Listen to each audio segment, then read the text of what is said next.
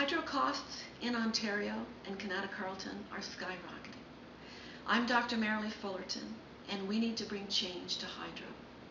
Please join me in purchasing an Ontario Progressive Conservative membership.